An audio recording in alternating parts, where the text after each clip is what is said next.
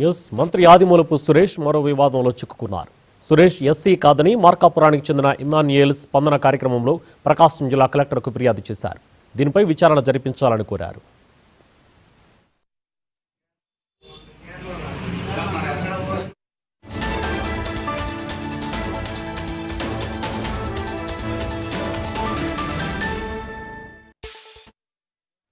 మార్కాపురం మండలం గజ్జలకొండకు చెందిన సురేష్ తల్లిదండ్రులు ప్రధానోపాధ్యాయులుగా రిటైర్ అయిన తర్వాత బీసీసీ కోటాలో క్రిస్టియన్ మైనారిటీ కాలేజ్ ఏర్పాటుకు అనుమతి పొందారని తెలిపారు.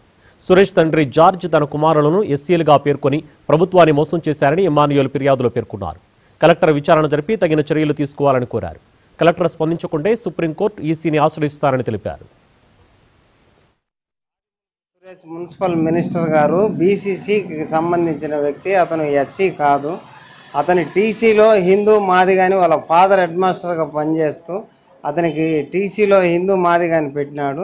కానీ వాళ్ళ ఫాదర్ మీద ఇండియా ఈ క్రిస్టియన్ మాదిగా క్రిస్టియన్ స్కూల్స్ అన్నీ కర్నూలులో ఉన్నాయి. కర్నూలులో Christian BEd Rayalaseema Christian BEd college కూడా వాళ్ళు క్రిస్టియన్ కోటాలో పొంది ఉన్నారు. ఇవాళ బీసీసీ కులానికి సంబంధించిన వాళ్ళు.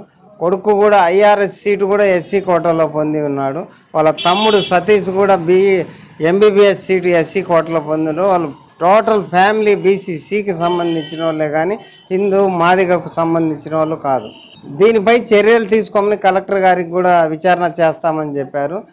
తర్వాత హైకోర్టులో కూడా రిట్ వేయాల్సి వస్తుంది. కంపల్సరీ అవన్నీ ఉండి ఉద్యమంతో పోరాడతాము ఎస్సీ రిజర్వ్ నియోజకవర్గం ఎర్రగొండపాలెంలోనే ఫస్ట్ ఎమ్మెల్యేగా అయ్యారు సురేష్ గారు. తర్వాత సంతనవతలపాడు ఇప్పుడు కొండైపోయాడు.